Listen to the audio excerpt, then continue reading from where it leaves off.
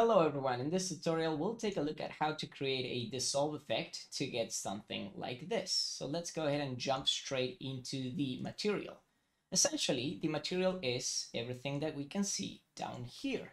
We'll go node by node and I'll explain what each node is doing and how to access them in Sequencer so we can animate them. The very first thing we need to do is with any given material that we have, we're going to blend it with a make material attributes node. How do we blend it? We're going to blend it through a blend material attributes. So what we'll do is A is going to be our actual material, which is the armor for this Paragon character in this case. And B is going to be our make material attributes node for our emissive and opacity mask to get that dissolve effect, essentially our dissolve material and it's everything is going to be cut out through a mask or an alpha which is going to be this dither temporal anti-aliasing node which creates a very cool effect. Let's take a look at this material. So from left to right we have a noise dissolve panner. And a panner is giving that movement up and down and left and right. But what it's doing here particularly let's step into a position in which we can see the effect what it's doing here particularly is giving this movement, which is not up, down, left, or right. What that movement is, is essentially moving the UV. Now, if the UV is not exactly aligned with the texture perfectly, it's not going to go up, down, left, or right. It's just simply going to go in the direction of the UVs. Right now, the panner, which is a parameter here that's being exposed, R and G, two of the values, are giving it movement. So this is for you to play with you could even not use any panner movement at all because at zero, this also looks like a very cool effect. You could even want something like this and have it stick like this for a couple of moments. But the effect of the dissolve is the same, even if you're using or not using the panner. I just added a panner because I feel it gives uh, this, this very cool nano effect. Let's keep going. So the panner is also being tiled. The entire noise is being tiled by a simple multiply on the texture coordinate node that is doing uh, multiply for a noise tiling, which is a simple constant value. The speed of the panner down here is being controlled by X, Y, which are R and G in this particular node here. And then this is a dissolve pattern. So in here, we can change this texture and the effect that we get is going to be different. Now, sadly, textures cannot be changed in Sequencer as of today, and this is April 2025.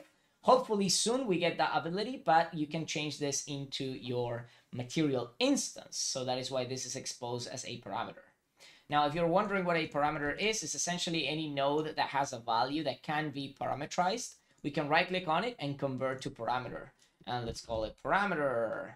Uh, and then this one is now going to be able to be used in sequencer.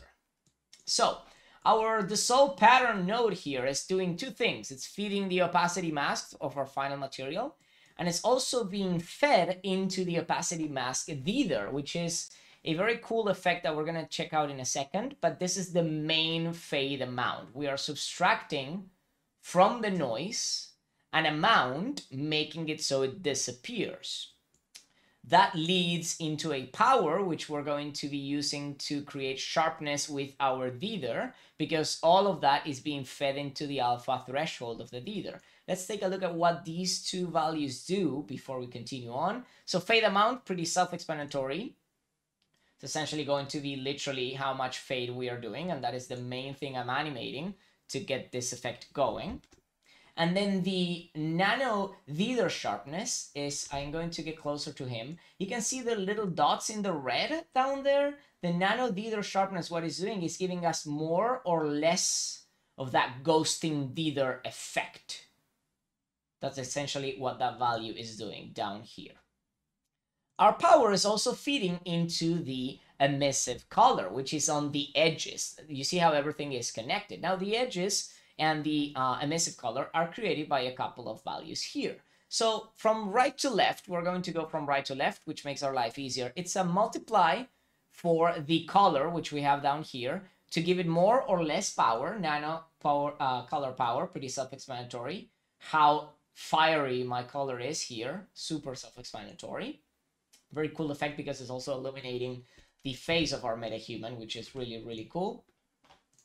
If we go back, that color is being multiplied by a smooth step where we have a nano transition smooth and then a nano edge sharpness. Now these may sound very similar, but what these are doing are essentially, again, if we get a bit closer to him, what these are doing, and we're going to press G so we don't see the outlines, let's take a look at these two other values.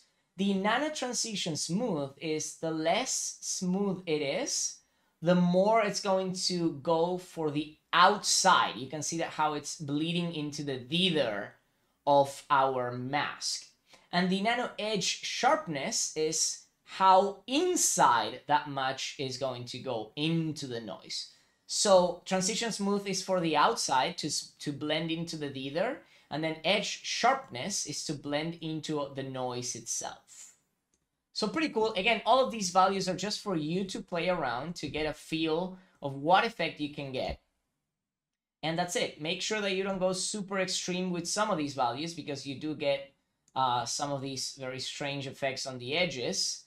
So make sure that you keep that in mind as you're playing with it. But again, this looks pretty, pretty cool. And this is just the fade amount that's being animated, which is giving us this effect. You could even use it to leave some effect like this, which is pretty powerful. If you don't want the cutout to be there, you simply remove the opacity mask and you just feed the noise into the emissive. So you get this emissive effect. Again, remember you can change the effect, the noise masking here, and that will change the way this behaves.